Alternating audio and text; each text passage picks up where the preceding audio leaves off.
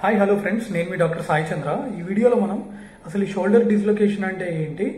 Shoulder dislocation అయినప్పుడు ఏం చేయాలి అనే దాని గురించి మాట్లాడుకుందాం. ఓకేనా? ఇది మన షోల్డర్ జాయింట్ యొక్క డెమో మోడల్ సో దీంట్లో ఇది హ్యూమరల్ హెడ్ అంటారు. ఇది గ్లీనాయిడ్ కేవిటీ అనమాట సో అంటే ఒక బంతి గిన్నె ఆకారంలో మన జాయింట్ అనేది ఉంటుంది. ఓకేనా? సో ఈ హ్యూమరల్ హెడ్ ఈ గ్లీనాయిడ్ దగ్గర నుంచి ఇట్లా బయటకు వస్తుంది అనమాట షోల్డర్ డిస్లొకేట్ అయినప్పుడు. సో అది మూడు రకాలుగా ఉంటుంది. యాంటీరియర్ డిస్లొకేషన్ వెనక్కి వెళ్తే పోస్టర్ డిస్లొకేషన్ కిందకి వెళ్తే ఇన్ఫీరియర్ డిస్లొకేషన్ సో ఎక్కువగా మనం చూసేది యాంటీరియర్ డిస్లొకేషన్ ఏదైనా రోడ్ యాక్సిడెంట్ అయినప్పుడు కానీ లేకపోతే వాలీబాల్ ఆడుతున్నప్పుడు గేమ్స్ ఆడుతున్నప్పుడు. సో యూజువల్గా గేమ్స్ ఆడుతున్నప్పుడు మనం చూస్తూ ఉంటాం. ఇది కాకుండా పోస్టర్ డిస్లొకేషన్ అనేది ఏంటంటే ఎప్పుడైతే పేషెంట్ నిద్రలో ఏమన్నా ఫిట్స్ వస్తాయో లేకపోతే కరెంట్ షాక్ కొడుతుందో అలాంటప్పుడు మనం పోస్టీరియర్ డిస్లొకేషన్ అంటే ఈ బాల్ ఈ జాయింట్లోంచి వెనక్కి వెళ్తుంది అనమాట సరేనా? అది చూస్తాం. సో అప్పుడు పేషెంట్ ఎలా ఉంటుందంటే తీవ్రమైన నొప్పి చెయ్యి కదల్చలేడు పైకి లేపలేడు బాగా నొప్పితో వస్తాడు.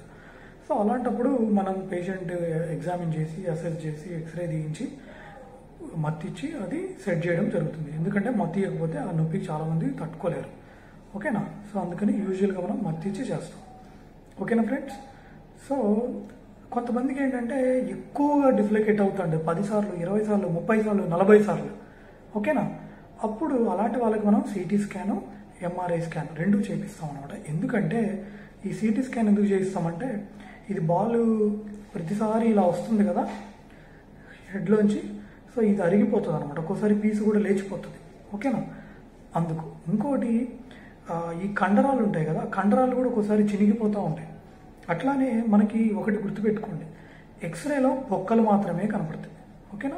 బోన్స్ సిటీ స్కాన్లో బోన్సే కనపడతాయి కానీ త్రీ డైమెన్షనల్గా మనం చూడగలుగుతాం. అంటే ముందు ఎట్లుంది పైనుంచి ఎట్లుంది పక్క నుంచి ఎట్లుంది ఇవన్నీ మనం చూడగలుగుతాం. Three dimensional three D length breadth and width మూడు చూడగలుగుతాం. ఏ బోన్ అయినా. ఓకేనా? ఎంఆర్ఐ ఎందుకంటే మనకి బొక్కలంటే ఈ బోన్సే ఉండవు కదా ఇక్కడ బ్యాండ్లు లాగా ఉన్నాయి కదా. ఓకేనా? సో ఇవి సాఫ్ట్ ఇష్యూ అని చెప్పొచ్చు అర్థం కావడానికి. సో ఇది మనకు కనపడాలంటే ఎంఆర్ఐ స్కాన్ చేయిస్తాం.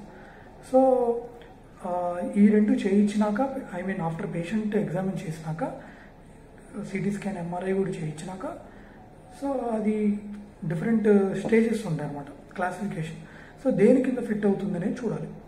ఓకేనా? ఇవన్నీ చూసినాక పేషెంట్కి ది బెస్ట్ ట్రీట్మెంట్ అనేది ఇవ్వడం జరుగుతుంది. సో చేసే సర్జరీలు రెండు రకాలుగా ఉంటాయి ఫ్రెండ్స్. ఒకటి ఓపెన్ చేసి చేయడం షోల్డర్ జాయింట్ని అది కొంచెం పాతకాలం పద్ధతి. ఇప్పుడు ఏంటంటే అడ్వాన్స్డ్గా వచ్చిన టెక్నిక్స్ ఏంటంటే ఆర్థరోస్కోపీ అంటారు. మీరు మోకాలకు ఆర్థరోస్కోపీ విన్నారు కదా? అలానే భుజానికి కూడా ఆర్థరోస్కోపీ ఉంటుంది. దీన్ని షోల్డర్ ఆర్థరోస్కోపీ అంటారు. అంటే లోపలికి ఒక కెమెరా పంపించి ఆ కెమెరాలో మనం జాయింట్ని ఒక టీవీలో చూస్తాం మానిటర్లో చూస్తాం. అలాగే రెండు ఇన్స్ట్రుమెంట్స్ని పంపించి చేయాల్సిన సర్జరీ అనేది చేయడం జరుగుతుంది. సో ఇది ఫ్రెండ్స్ ఈ వీడియోలో. ఈ వీడియో కనుక మీకు నచ్చినట్టయితే మీ ఫ్రెండ్స్ అండ్ ఫ్యామిలీకి షేర్ చేయండి. Thanks for watching bye bye